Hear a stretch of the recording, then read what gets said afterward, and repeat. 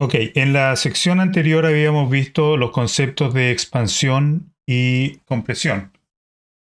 Hoy vamos a ver el concepto de soporte y resistencia. Entonces voy a dibujar aquí, en color rojo, un nivel de resistencia, es un área en, realidad, y eh, voy a dibujar en color verde un nivel de soporte. ¿Ok?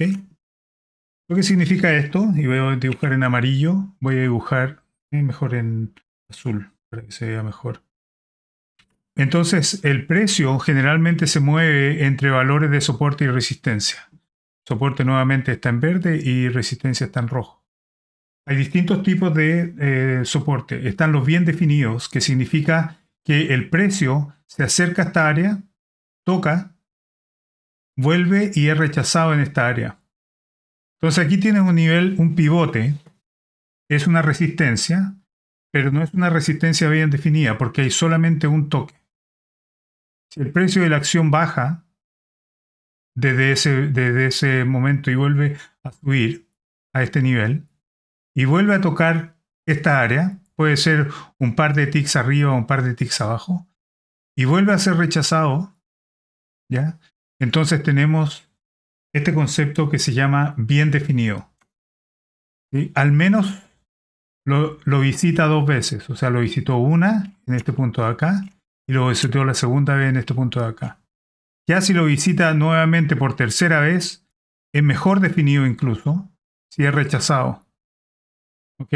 Entonces el valor se mueve bajo la resistencia, toca dos o más veces y podemos decir que está bien definido.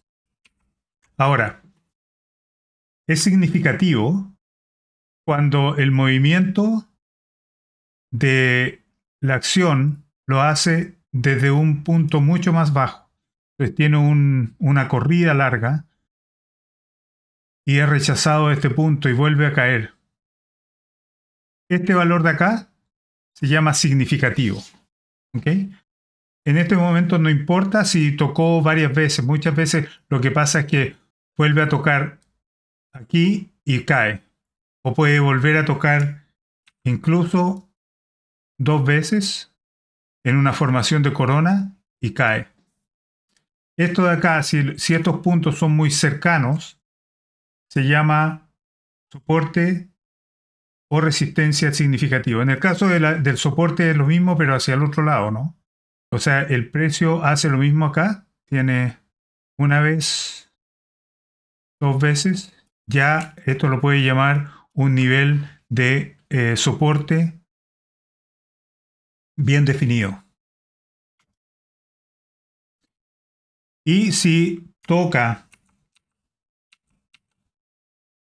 fuerte y vuelve a ser rechazado acá, en valores eh, en distancias largas, entonces, esto se llama soporte significativo.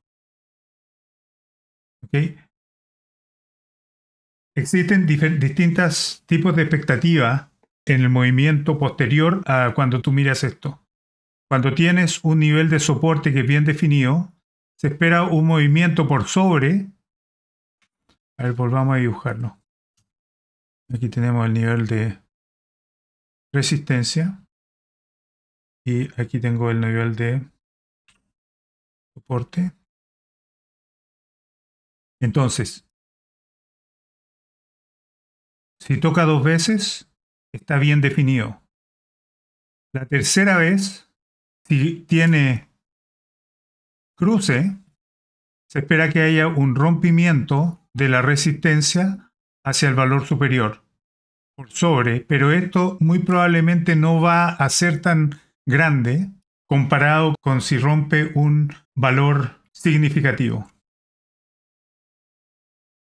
O sea, la corrida después del quiebre se espera que sea moderadamente alta, pero no se espera que sea muy fuerte hacia arriba. Más se espera que tenga un movimiento más significativo cuando rompe, cuando es un quiebre de un valor, de una resistencia o un soporte significativo. Mientras más veces pegue aquí, mayor probabilidad hay de que salte al próximo nivel. O sea, mientras más se golpea la puerta, mayor posibilidad hay de que la puerta se abra, siendo esta la puerta. Lo mismo aplica para el caso del, del soporte hacia el otro lado.